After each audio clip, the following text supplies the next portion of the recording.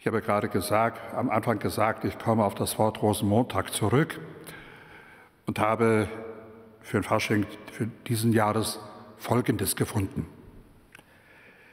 Im Karneval ist es Sitte und auch guter Brauch. Man steigt die Debüt und ich tue es auch. Ihr lieben Brüder und auch Schwestern, es ist die Fastnacht, ich darf lästern. Ihr wart sicher, ihr wartet sicher schon darauf, heut haue ich auf die Pauke drauf. Zum Spaßen steht mir nicht der Sinn, weil ich doch oft in Sorge bin.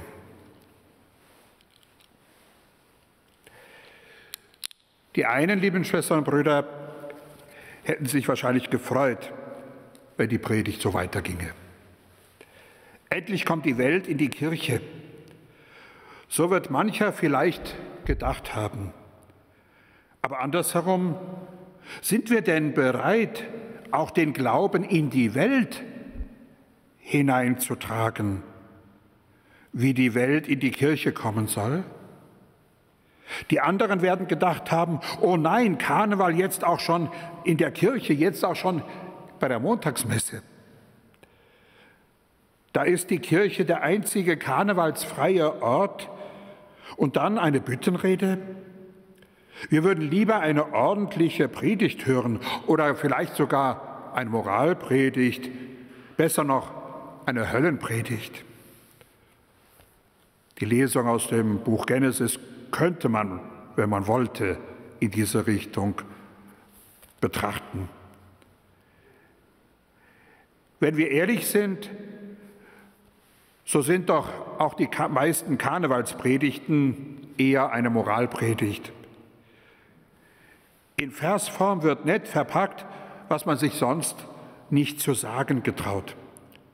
Häufige Opfer solcher Moralpredigten sind zum Beispiel die Messdiener, und ihr Nichterscheinen zum Dienst oder deren pflegelhafte Haltung am Altar, der schlechte Kirchenbesuch und das Benehmen der Kirchenbesucher, der Verfall der Moral, die schlechten Predigten. Man könnte die Reihe fortsetzen. Die katholische Narrenfreiheit kommt nicht von ungefähr, liebe Schwestern und Brüder. Ein Blick in die Geschichte zeigt nämlich, der Karneval hat als Fest der verkehrten Welt eine unverrückbare Stellung im christlichen Kalender. Unlösbar ist es mit dem Aschermittwoch und der folgenden Fastenzeit verbunden. Ohne diesen Hintergrund wäre der Karneval auch gar nicht denkbar. Das närrische Treiben und zahlreich damit verbundene Karnevalsbräuche, die in diesem Jahr leider Gottes etwas schwach ausfallen müssen, können sich nachweislich auf das Zwei-Staaten-Modell des heiligen Augustinus berufen. Reich Gottes, die Civitas Dei, gegenüber dem Reich Satans, Civitas Diaboli. In einer kurzen Zeit, eben im Karneval, kann das vergängliche Reich Satans sich in aller Flüchtigkeit, Farbigkeit, mit drastischen Übertreibungen und Narrenprunk entfalten. Insbesondere tun das ja die Alemannen ganz gerne mit ihren ziemlich, sagen wir mal, interessant ausschauenden Masken. Und so war es die Sicht und die Vorstellung im Mittelalter auf jeden Fall. Und Karneval wurde damals dementsprechend auch deftig gefeiert, deftiger noch als heute. Animateure und Karnevalsdesigner können sich das gar nicht vorstellen in unseren Tagen. Es gab sogar päpstliche Empfehlungen, so zum Beispiel die von Papst Martin IV. Im Jahre 1284, die Gläubigen sollten etliche Tage Fassenacht halten und fröhlich sein. Geiler von Kaiserberg, ein Franziskanerprediger am Straßburger Münster, meinte sogar, die christliche katholische Kirche erlaubet eine ehrliche Rekreation und Fröhlichkeit, damit ihre geistliche Kinder desto williger seien, die heilige Fasten zu halten. Und am Collegium Germanicum in Rom wurde jährlich ein Narrenkönig gewählt.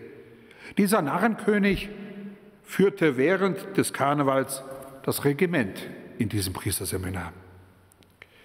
Und 1993 hat der Münchner, damalige Münchner Erzbischof Friedrich Kardinal Wetter den Karneval als heitere Revolte gegen niederdrückende, auslaugenden Stress bezeichnet.